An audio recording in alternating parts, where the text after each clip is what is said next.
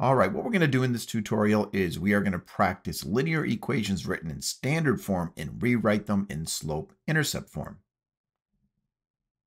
All right, right here we have an equation that is written in standard form. Our ax term is 3x. We have a coefficient multiplied by x. Our by term is negative 2y, a coefficient multiplied by y. And our c term is negative 16. And what we want to do is rewrite this in this form right here. So here's how we are going to accomplish this.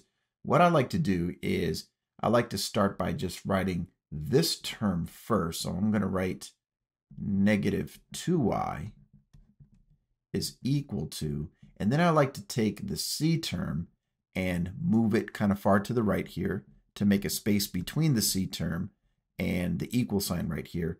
And then I take our ax term and I move it to the other side of the equation. Now remember, when moving a term to the other side of the equation, you have to write it as its opposite. So we write the opposite of positive 3x, which is negative 3x. Now the reason we did that is because we want to get it in this form right here. We want our x term to be directly after our equal sign. So that is what we did. We took our x term and we moved it right after the equal sign, but we wrote it as its opposite. Now, y is not quite by itself yet. We still have a coefficient in front of y, and to get it in this form here, we have to make sure that it is just a y, so the coefficient is positive 1.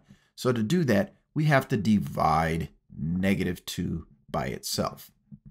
Now, to balance our equation, we have to divide everything on the other side by negative 2. So negative 2 divided by itself is positive 1, so that gives us just a y on the left-hand side of our equation. And now we have to divide both of these terms by negative 2.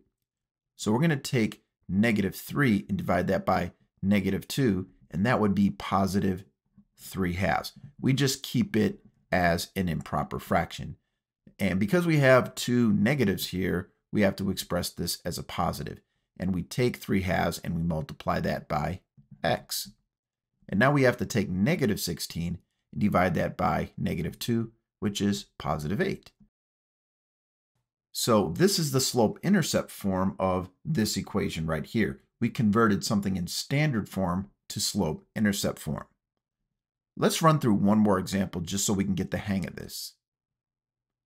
All right, so once again, I'm going to start with the y term, which is positive 5y. So I'm just going to write 5y is equal to, and then we take this c term, negative 15, and we're going to write it underneath the b for the slope-intercept form. So let's write negative 15 here, or minus 15. And then we're going to take our x term, and we're going to move it into this blank space that we created right here. But we have to write it as the opposite. So instead of 6x, we write negative 6x. The next thing that we do is we divide both sides by this coefficient of 5 here. So we take 5 divided by itself, which is y, is equal to negative 6 divided by 5, which is negative 6 fifths, x. And then we take negative 15 and divide that by 5, and that gives us negative 3. So y is equal to negative 6 fifths x minus 3 is a slope-intercept form of this equation right here. And a lot of people prefer this format because it's pretty easy to graph. All we would have to do is make a point at negative 3 on the y-axis because this is our y-intercept.